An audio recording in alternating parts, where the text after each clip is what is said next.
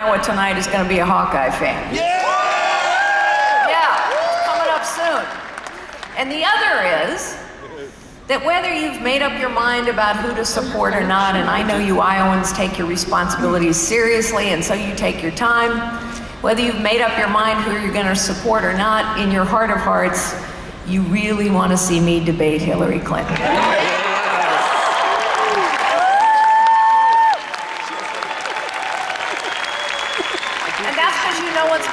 Happen if I debate Hillary Clinton. I'm going to win. and it's actually important to win. You know, I will never ask for your support because I'm a woman, although I'm very proud to be one. I'm going to ask for your support because I think I'm the most qualified candidate to win this job and to do this job.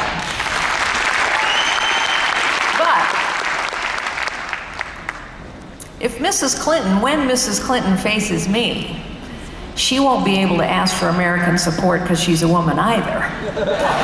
what she's going to have to do is talk about her track record, or lack thereof. She's going to have to talk about her policies. She's going to have to defend why they're bad for America. And she's going to have to talk about her trustworthiness as well. And ladies and gentlemen, when she has to fight on that ground, we win. Yeah.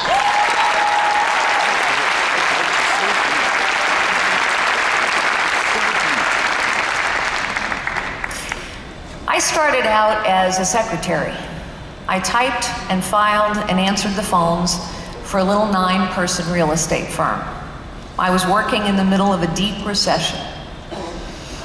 I am keenly aware having traveled and lived and worked all over the world, having done business and charity and policy work all over the world, I am keenly aware that it is only in this nation that a young woman can start out the way I did, go on one day to become the chief executive of what we turned into the largest technology company in the world and run for the presidency of the United States. That is only possible here.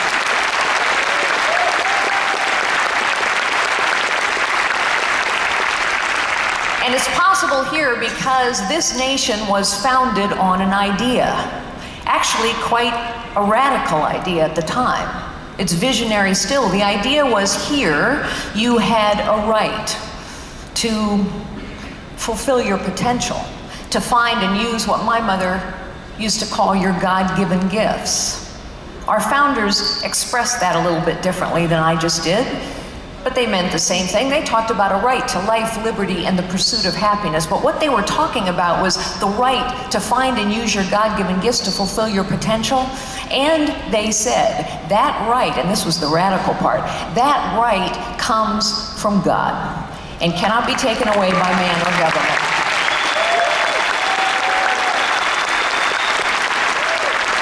And so, more things have been more possible for more people from more places here than anywhere else on the face of the earth. And yet, and yet, we have come to a pivotal point, I believe, in our nation's history.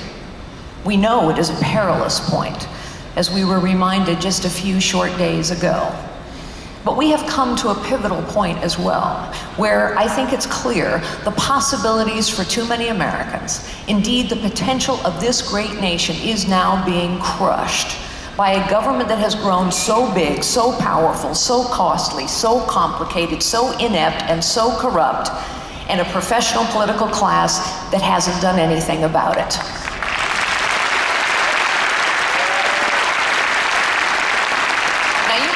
those are harsh words, but here's the truth, ladies and gentlemen. 75% of the American people now think the federal government is corrupt. I agree with them, because the federal government picks winners and losers, favors some over others. And the people the federal government favors now are the big, the powerful, the wealthy, and the well connected, and we are crushing the small and the powerless. 80% of the American people now think we have a professional political class that cares more about its own power, position, and privilege than on getting anything done. And if you think that's a harsh assessment, consider this. How long, as conservatives, have we been talking about reducing the size of government? How long, as conservatives, have we been talking about reforming the tax code? How long, as conservatives, have we been talking about securing the border or ending entitlements that tangle people's lives up in webs of dependence? The truth is, we've been talking about this for a long time. The truth is, we've been talking about all of these issues for 20 years or more. You know, when I was a chief executive, every 90 days, I had to go out and report our results in excruciating detail. And I also had to project forward in excruciating detail. And I had to answer every single question about those results until there were no more in public. And if I misrepresented those results or those projections, I was held criminally liable. Now imagine if we held politicians to this standard of accountability.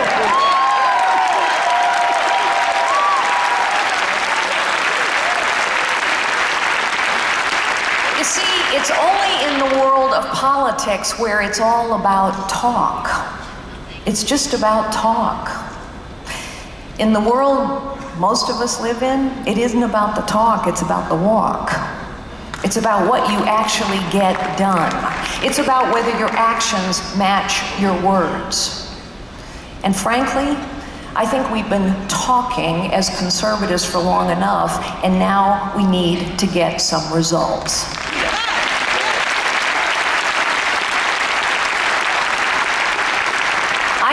For the presidency of the United States because I think we have reached a pivotal time where the weight of this government is literally crushing. It is destroying the entrepreneurial engine of this country. It is tangling people's lives up in webs of dependence that last for generations. We are now destroying more small businesses than we are creating, and those are the engine of economic growth. And meanwhile, government just gets bigger and more complicated and more costly and more corrupt. Government has gotten bigger and bigger every year for 50 years. Citizens, I am running for the presidency of the United States because I think it is time to take our country back.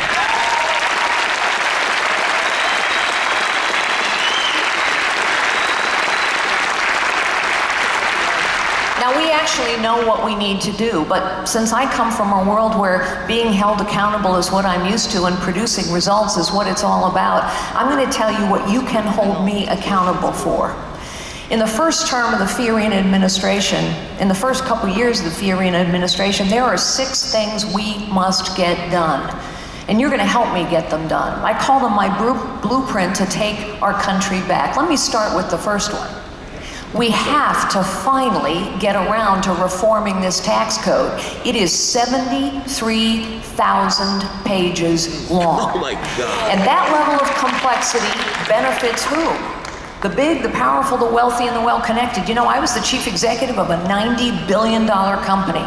If I didn't like the tax code, I could at least hire accountants and lawyers and lobbyists. But that nine person real estate firm that I started out in, they can't hire all those people.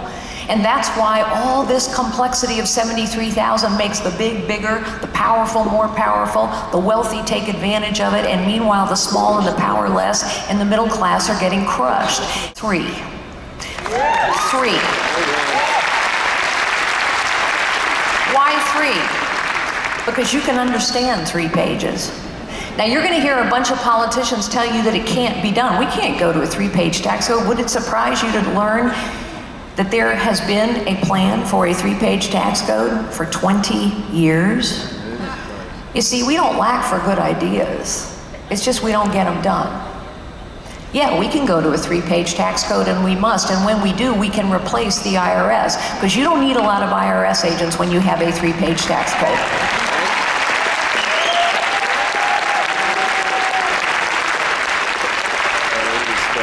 Surprise you to learn that we now have more personnel in the IRS than we have in the CIA and FBI combined? That's a fact, ladies and gentlemen. That's a fact. Does that strike you as an incredible misallocation of resources in these difficult and dangerous times? We have to replace the IRS. We have to go to a three-page tax code. But how do we fix a problem like having more IRS agents and CIA and FBI when we know we need more CIA and FBI agents? The second thing I will commit to, and you can help me get done, we have to go to zero-based budgeting. Yeah. You know,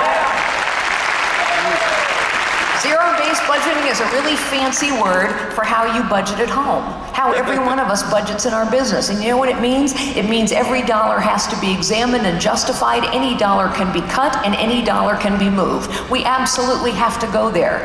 Have you ever noticed how every year the federal government spends more money and yet it never has enough money to do the important things? We have been spending more money, as I say, for 50 years, and yet when we ask the government to secure the border, we need more money care for our veterans, we need more money. Answer taxpayer questions on tax day, we need more money. The only way we can spend less money overall, and yes, we must spend less money overall, quit talking about it and actually doing it so that our deficits don't continue to rise. 18 trillion in debt and counting. The only way to spend less overall and yet prioritize our spending Put more money in caring for our veterans. Put more money so that our military is the strongest on the face of the planet and everybody knows it. The only way to do that is to be able to cut and move any dollar, and that, ladies and gentlemen, is called zero-based budgeting.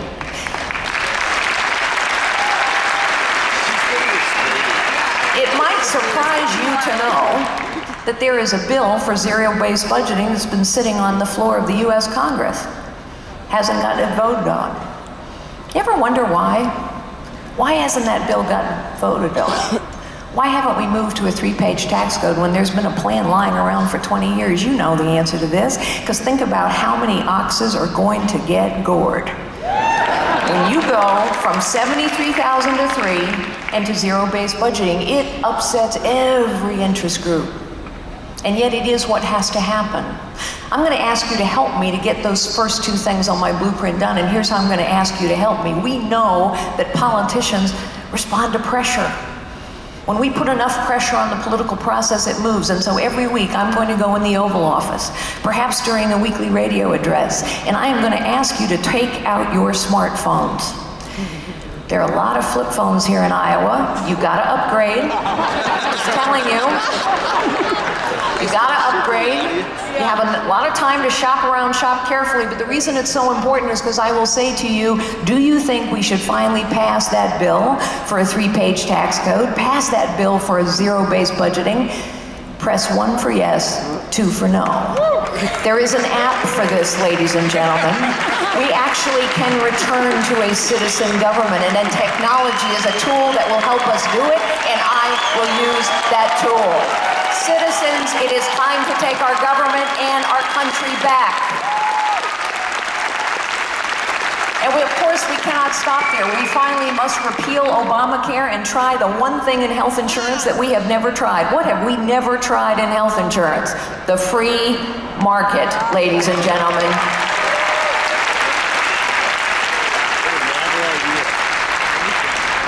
I'm a cancer survivor. We lost our younger daughter to the demons of addiction.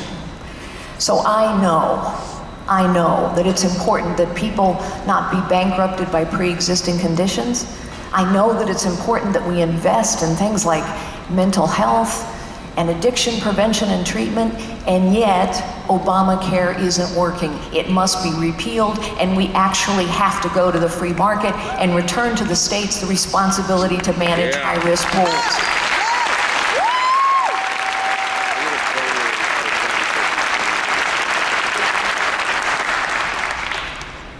Fourth on my blueprint, we must restore the character of this nation. And that means we must stand for life and protect religious liberty.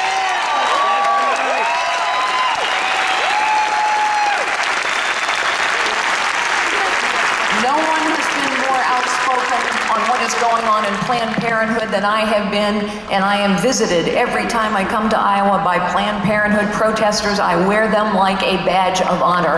We must restore the character of this nation and stand for life and religious liberty.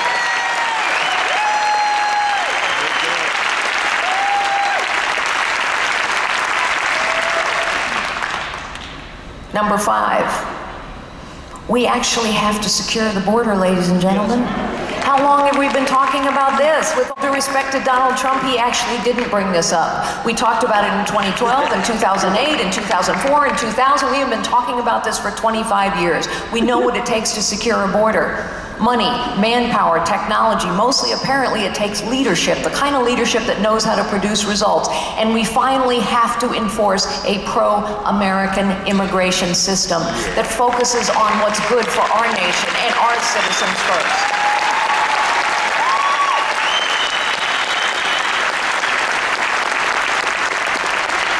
And last but not least, on this blueprint of what I will be held accountable to as President of the United States, we must defeat ISIS.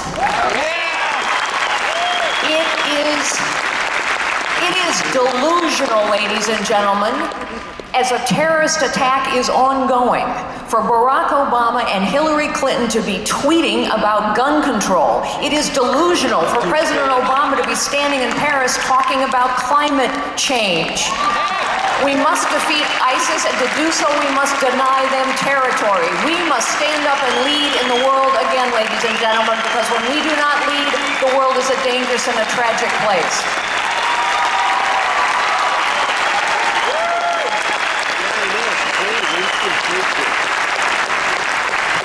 Now, ladies and gentlemen, I'm going to wrap up here, but I said something at the beginning of my remarks. I said, I'm going to ask for your support because I believe I am the most qualified candidate to win this job and to do this job. You already know what it takes to beat Hillary Clinton. In your heart of hearts, you know I can beat her. But let's talk about what it takes to do this job at this pivotal and perilous time. I believe it takes a leader who understands how the economy actually works. And she must also understand how the world works. I have met more world leaders than anyone running, with the possible exception of Hillary Clinton, but I didn't do photo ops with them. I did business and charity and policy work with them all around the world for decades behind closed doors. I've held the highest clearances available to a civilian.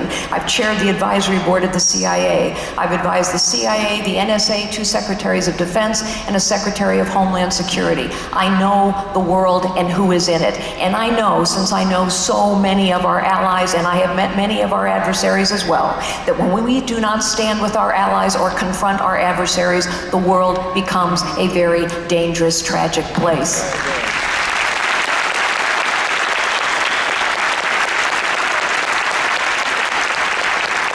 Our president needs to understand bureaucracies because our federal government has become one giant, bloated, corrupt, inept bureaucracy. And that is what happens when you feed a bureaucracy more money each and every year where there are no goals, are no metrics, and there are no consequence for non-performance. You get ineptitude and corruption.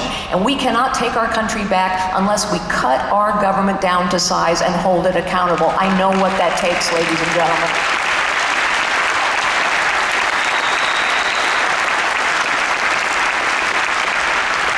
Our president needs to understand technology. No, Mrs. Clinton, you don't wipe a server with a towel, something you've unfortunately found out.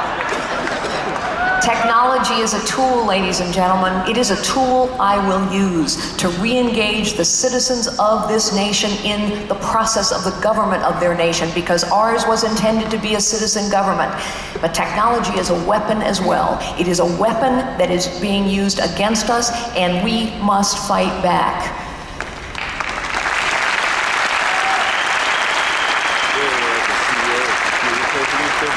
And finally, ladies and gentlemen, we need somebody who understands what leadership is. Leadership is about being held accountable. Leadership is not about talking a good game. Leadership is about translating goals and commitments into results and accountabilities. A leader sometimes have to make tough calls in tough times and prepared to stand up and be held to account. I've been tested. I've been held accountable all my life. I've produced results all my life. That's how you go from being a secretary to a CEO. And leadership requires one other thing. You have to be willing to challenge the status quo. We've got a lot of politicians who are fine people, but They remind me of managers. Managers don't challenge the status quo, they operate within it. They don't ever really buck the system, they're part of the system. The highest calling of a leader is to challenge the status quo. I am reminded of something one of my heroes once said. Margaret Thatcher once said to her fellow countrymen and women at a pivotal time in that nation's history, I am not content to manage the decline of a great nation. Well, ladies and gentlemen, neither am I. Neither are you.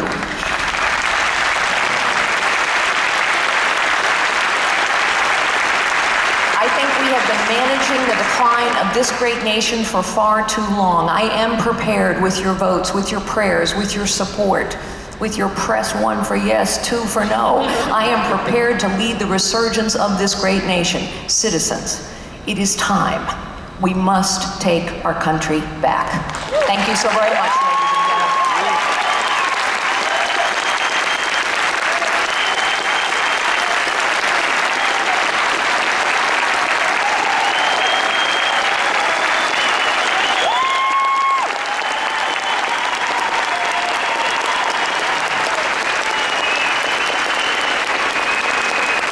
traditionally today, we had video questions mixed in with live questions.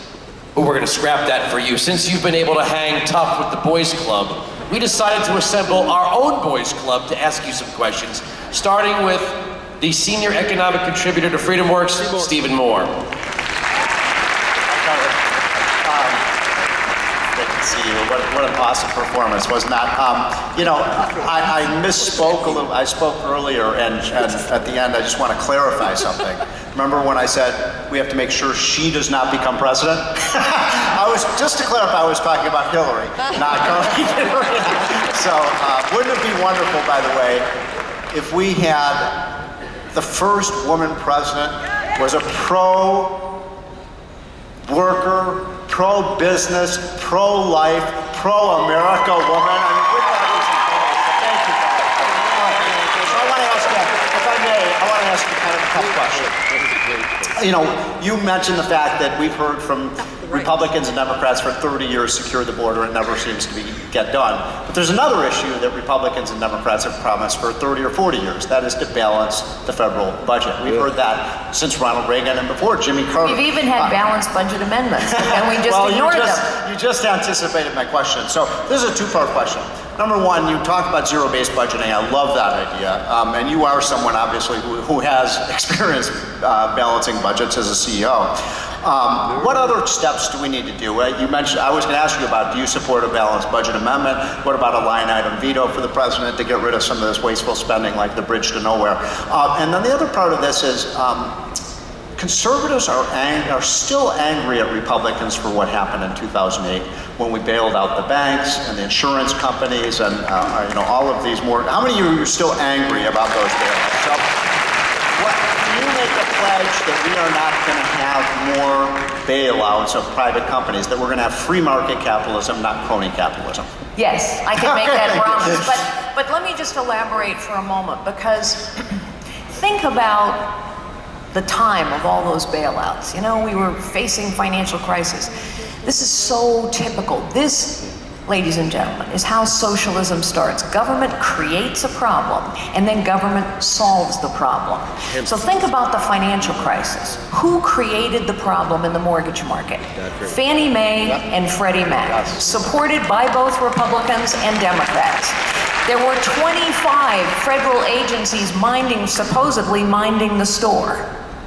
Right? Well, what happens? We bail out the banks.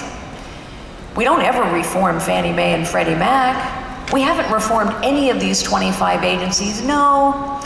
Now, and I agree, Democrats are guilty of this, but Dodd Frank, talk about crony capitalism. What did Dodd Frank result in? Dodd Frank took 10 banks too big to fail, turned them into five even bigger, more powerful banks. By the way, those five helped write the bill. It also created a brand new bureaucracy, the Consumer Finance Protection Bureau, which by statute, Congress has no oversight over. That bureaucracy is digging through hundreds of millions of credit reports right now looking for fraud. Boy, I'll tell you what, that makes me nervous. And meanwhile, 20% of the credit union industry has gone belly up. Almost 2,000 1600, community banks have gone belly up. Why? Because the small cannot deal with big government. Crony capitalism is what happens when big government gets bigger, and then only the big, the powerful, the wealthy, and the well connected can deal with it. This has a crushing effect on our economy. And when you have 1,590 community banks going out of business, what's the impact of that? Those are the places, or credit unions, those are the places where families get their loans, where small businesses get their loans. When we are crushing the helping hand, the part of the financial system that takes a chance on our small, our new, our community-based and family-owned businesses, we're crushing the economy.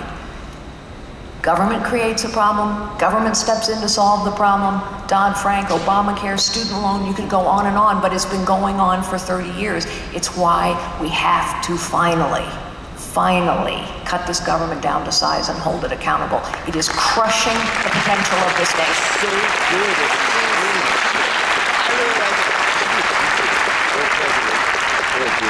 Asking the next question, he's asked many today, is again Congressman Rod Blum. Hi, Congress. Good to see you, Carly. Welcome to the First District. Pleased to have you here. This is from Matt Ehlers, who is a truck driver for Prairie Farms in Dubuque. Matt, are you here? Right there? Okay, I gotta ask you real quick, Matt. Do you happen to be a reader of the Tow Times? No, okay, too bad. My husband was a tow truck driver. He started out as a tow truck driver, and there's a magazine that apparently a lot of truckers read called the Tow Times. And I'm only bringing it up because my husband Frank was featured in the Tow Times. I thought maybe you'd read it. It's like his proudest interview. His question, Carly, is this Wages for working families are stagnant or down under President Obama's administration.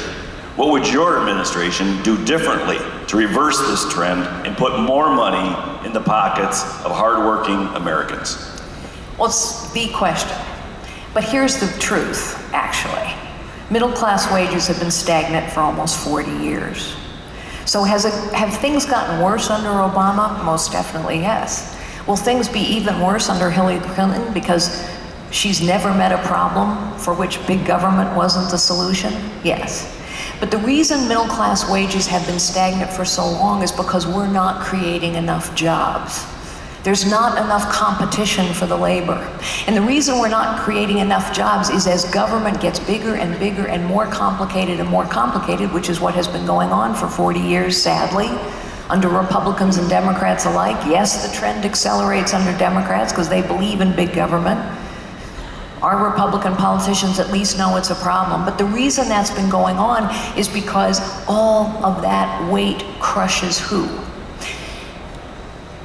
Yes, us. But who are the real job creators in this economy? You know, when our founding fathers talked about life, liberty, and the pursuit of happiness, the spark that set that tinder afire to create this nation was entrepreneurialism and innovation. And it is small, new, family owned, community based businesses, the entrepreneurs and the innovators in this country who have always created two thirds of the new jobs. They employ half the people. And when we are crushing them, and we are crushing them, we're not creating enough jobs. Last year, 400,000 small businesses were formed. Wow, that's fantastic. It's a sign of great vitality, great determination on the part of the American people, but guess what? 407,000 were crushed. So when we start crushing the entrepreneurial spirit of this nation, when we make innovation harder, when we say, just let me give you an example. If you happen to be a young woman and you want to become a hairdresser, maybe you're a single mom with a couple kids, and you want to open a hairdressing salon, it's a great entrepreneurial activity for women.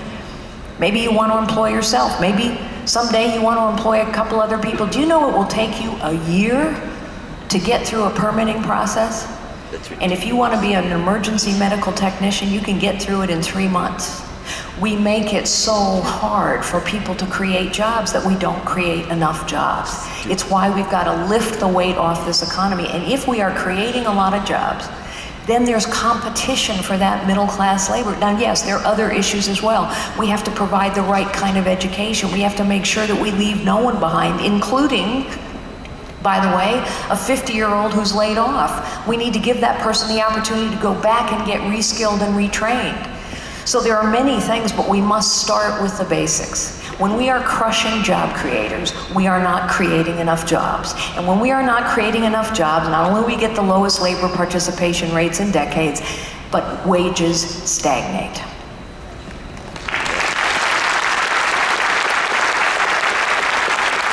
The last and final question is going to be asked by me. I've been on this stage now, up and down, for four and a half hours, and you guys have been very patient. I've been wanting to ask this of a CEO, and this is something I think that would have been a great question for Herman Cain and maybe even Mitt Romney. The federal government is so big.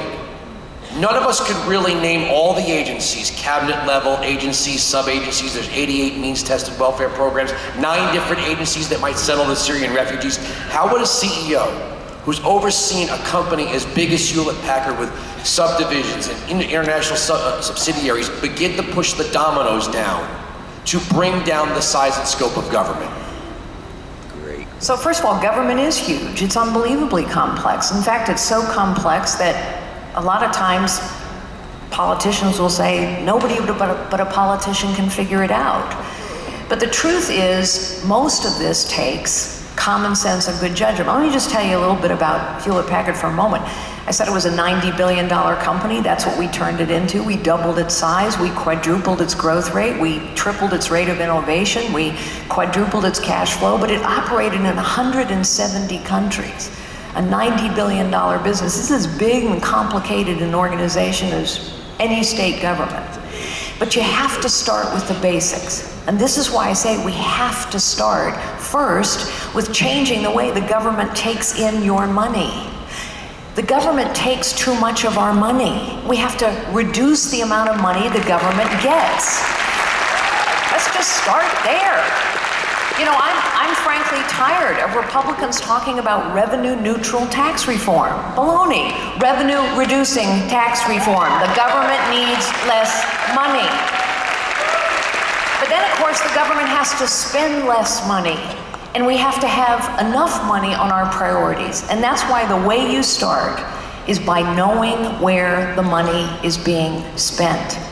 It's so basic. We don't know where our money is being spent. Ask yourself why. I asked you this question a moment ago, but why is it that the government spends more money each and every year and never has enough money to do the important things? You know why that is? Because all the money is spoken for, all the money is owned by all these bureaucracies. I don't know how many of you have ever done business with the federal government, but if you have, I started out when I got out of the secretarial pool, I became an entry-level salesperson at AT&T. And I sold to the federal government, and I figured out quickly what everybody who does business with the federal government figures out. If you just hang around in the last eight weeks of the fiscal year, they're going to spend money. They're going to spend every dime they have because they have to. They never want to answer the question, why are you doing it with Perhaps you could do it with less. So we have to know where the money is being spent. Zero-based budgeting. We have to force every agency to justify every dollar. And if you have no goals and you have no metrics and you have no results, guess what? You get no money. It's sort of basic.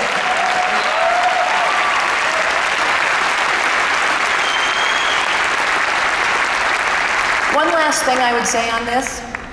You know, we have inspectors general in the US government.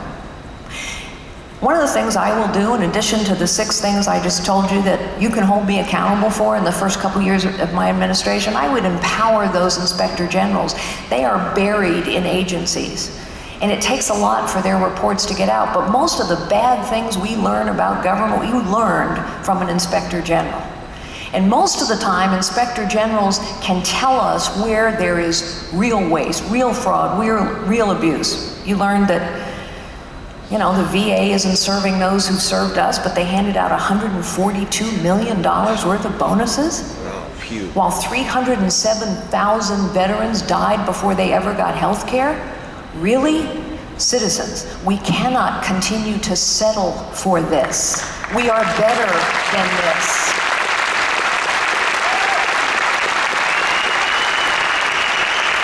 Ladies and gentlemen, thank you very much. Go Hawkeyes, citizens.